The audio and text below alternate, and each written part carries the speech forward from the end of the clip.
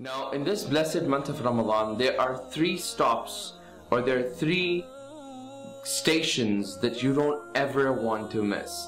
And subhanAllah, this is the mercy of this blessed month that Allah subhanahu wa ta'ala has given us these three stops or stations for this blessed month. The first station, the first stop comes where the Prophet ﷺ said, Man qama Ramadan imanan wa ihtisaba ghufira lahu ma taqaddama min Whosoever does qiyam, i.e. tarawih, in the month of Ramadan, Allah subhanahu wa ta'ala shall forgive all of his previous sins. The second station is من صام رمضان إيمانا واحتسابا غفر له ما تقدم من ذنب. Whosoever fasts in the month of Ramadan with iman and hoping the reward from Allah subhanahu wa ta'ala غفر له ما تقدم من ذنبه. Allah subhanahu wa ta'ala will forgive all of his previous sins. And the third stop or station comes, which is من قام ليلة القدر إيمانا واحتسابا غفر له ما تقدم من ذنبه. Whosoever does qiyam or tahajjud and taraweeh on the night of Laylatul Qadr, Allah subhanahu wa ta'ala shall forgive all of his previous sins. Now subhanallah, this is an amazing opportunity for all those that have committed tons of sins in the accord of Allah subhanahu wa ta'ala. All of us have committed sins, small sins, major sins, all the different variety of sins. But let us use this blessed month of Ramadan that where Allah subhanahu wa ta'ala uh, gives us three opportunities for us to rectify ourselves with Allah subhanahu wa ta'ala. Subhanallah. This is an amazing opportunity for those who have been thinking of coming back to Allah subhanahu wa ta'ala and there is this reluctancy between them, you know, being ashamed of their sins. Here's an opportunity for you.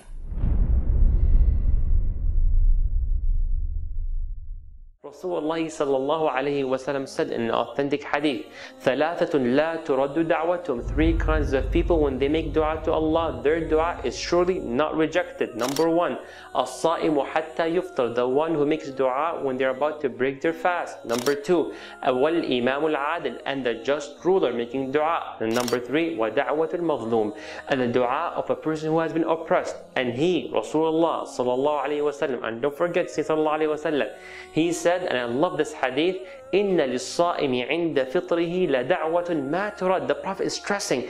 He says, basically, the one who has been fasting and breaks their fast, that time when they make dua to Allah subhanahu wa ta'ala, Allah will surely accept it and not reject it. What a golden opportunity that we don't want to miss.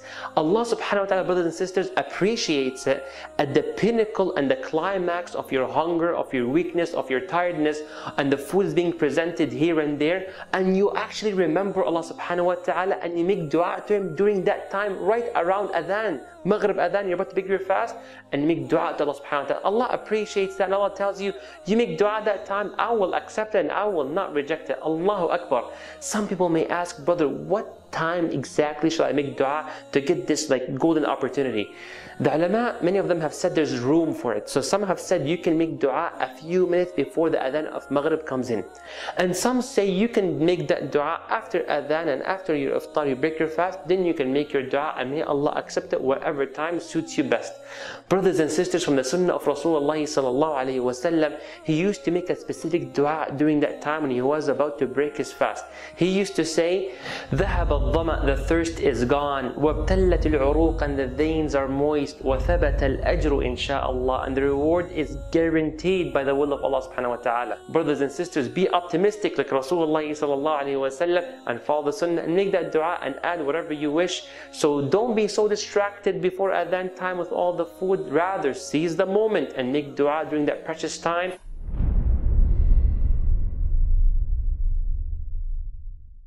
شهر رمضان الذي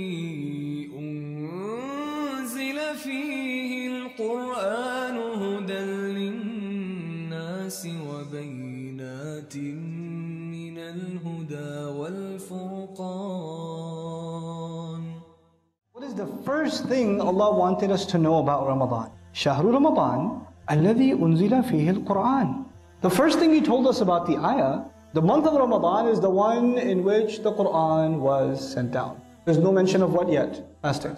There's no mention of fasting. The only thing, this is a month, the Qur'an came down in it. So now the Muslim knows the thing that makes us different that Quran, that incredible gift of Allah that was revealed in this month, this month is better than every other month, automatically. This book is better than all previous revelation. It's the ultimate revelation, the final revelation of Allah Azza wa This month must be the best month of all. The Muslim hasn't even heard about the fasting yet, but he knows this is the best month. Now maybe the next words are going to tell us about fasting. شهر رمضان الذي أنزل فيه القرآن هدى للناس. Quran is a guidance for people. The conversation is no longer about Ramadan, the conversation is about the Quran. The Quran is so important in this ayah that the subject of the, the month of Ramadan is stopped. And the conversation began about the Quran itself. You should get reintroduced to the Quran. And let me tell you what Allah says about the Quran in this ayah. Number one, He says, Hudan nas. It's a guidance for people. Do Muslims already know that? Yes. وَبَيِّنَاتٍ مِّنَ الْهُدَى It has multiple proofs and multiple clear teachings that come from guidance. Do Muslims already know that? وَالْفُرْقَانِ And it makes a dis- distinction between right and wrong. It, criteria, it, d- it dictates a criteria, a standard between right and wrong. Do Muslims already know that? Yes. Everything Allah said about the Quran in this ayah is something the Muslims already knew or didn't know. They already knew. What is Allah telling us? When this month comes, it's almost as though you are getting reintroduced to the Quran. It's like you're coming to the Quran for the first time all over again. Every time. You should feel like you just became a new Muslim ummah. Every Muslim should feel like he just became a Muslim. You know, when somebody just becomes a Muslim, they really want to read the Quran. I just want to read. What does it say? What does God say to me? There's a curiosity, right? Allah wants us to have that fresh take on the Quran every single month. Every single month of Ramadan. Not for just the fasting, not just to get the foods. Most of us end up gaining weight in Ramadan, not losing weight. I will recite the Quran like I've never recited it before. I will read the same ayat like I've never read them before. This is the beauty of these ayat. The Jews believed that their book was guidance for all of mankind. No. They believed that their Torah was guidance only for them. Allah says, شهر رمضان الذي أنزل فيه القرآن هدى للناس. Not this time. You new nation, you don't get to keep it for yourself. This will be a guidance for everyone. So you know what those words mean? Allah didn't just say hudan lakum. This guidance for you people. He said hudan linnas. You know what that means? This month I will learn the Quran. I will reintroduce myself to it, but I know for a fact this book will not walk itself over to the people. Who will have to give it to the people? You and I will. Because it is guidance not just for you and me, it is guidance for the people. The month of Ramadan is a reminder that we have to share Quran with humanity. Just in the words Hudan linnas. When you share the Quran with humanity, they ask for proof. They ask, why do you believe this is the word of God? What's your proof? What's your evidence? Give me something. Don't they say that? Allah says in the next words, very logical, وَبَيِّنَاتٍ مِّنَ الْهُدَى Bayinat means proofs, clear evidences that come from guidance. Not only does it guide people, it proves to them that this is the guidance too. You don't have to come up with some outside evidence, the evidence is inside the Quran. Anybody with decency, human decency, is going to see that. They're going to come to this book with the right intention and they will find guidance and the proofs that this is guidance. It'll validate that for them. And once they accept those proofs, it will tell them which way is wrong and which way is right. Wal Furqan. It'll separate right and wrong for them. So it started with a guide, an invitation for people, a guidance for people it'll prove itself to them. And once it proves itself to them, they will pick the right way from the wrong way because it'll draw a line for them. Don't do this and do this. Live this way and don't live this way. Subhanallah.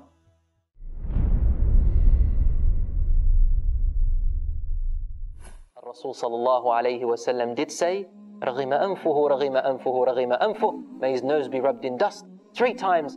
And the Sahaba said, "Who, ya Rasulullah?" He said, من بلغ Ramadan ولم يغفر له whoever reaches Ramadan and they haven't been forgiven. So there is no greater opportunity than the time of Ramadan for our forgiveness. O you who has regretted their sins, O you who knows of secret sins that no one else knows about, and you, and you cry in the night and you feel so guilty about it and you've given up almost hope, this is your time, inshaAllah ta'ala, to get rid of this burden off your shoulders and for it to replace in your heart a sweetness, sweetness, sweetness of happiness, of iman that you have never felt before. Brothers and sisters in Islam, the shaitan comes directly from the front, directly from the back through his allies and he, uh, through his deception, and from the front through his allies, and leaving a seed in your desires before Ramadan. And from the sides, the shaitan finds it difficult. The, the angels are there. And here is where the rahmah of Allah subhanahu wa ta'ala and His love for you is really shown. That above you is Allah subhanahu wa ta'ala whose mercy descends upon you. And when you lift your arms up to Allah in dua, Allah does not allow any evil, any obstacle, any distraction between you calling upon your dear Lord and Allah subhanahu wa ta'ala responding to His beloved servant. It's a direct, direct connection. And Allah says in the Quran, وإذا سألك عبادي عني فإني قريب أجيب دعوة الداع إذا دعان فليستجيبوا لي وليؤمنوا بي لعلهم يرشدون And if my servants ask you about me, O Messenger of God, tell them, Messenger of Allah, tell them, I am close, I am very close. You know, like what a mother says to a child when a child wakes up in the night and the child's very scared, seen a nightmare. Mom, Dad, and they come close to them and they say, Don't worry, I'm here, I'm close, I'm with you. You go to school and they say, Don't worry, I'm with you. Just remember your mum, remember your dad. You know, I'm with you. When a dear friend tells you wherever you go, just hold this, remember I'm with you. So Allah subhanahu wa ta'ala is telling you like the nurturing mother saying to its child, I am with you. فَإِنِّي قَرِيب I am close. I will respond to the person who calls upon me when they call. So let them respond to my call. Let them respond to me. Because the way that I command you, Allah is saying, is the way to me. Is the way to me. When Allah subhanahu wa ta'ala commands us something or prohibits us something, he is actually drawing the line or the road for you in how to get close to Him, how to feel His presence, subhanahu wa ta'ala. To the point where, to the point where you continue to do the compulsory actions until you do the voluntary actions after that, until Allah says, I become your eye which you see with, your hearing which you hear with, your leg which you walk with, your hand which you touch with. And if you were to ask me for anything, I will give you. And if you seek refuge in me from anything, I will give you protection.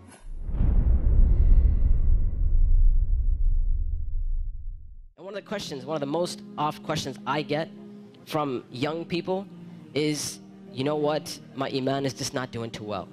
Like I have a dip in my iman and I just don't feel it anymore. Or a lot of times people who start practicing Islam, they'll have this iman high and they're doing really, really well. And then a time will come where, where they'll be like, you know, it just doesn't feel the same anymore.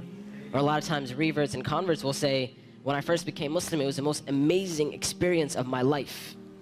And I want that back. I want that experience back. And one of the first questions I ask these people is, how is your connection with Allah? How is your qiyam al-layl? When was the last time you got up in the middle of the night or in the last third of the night to pray to your Lord?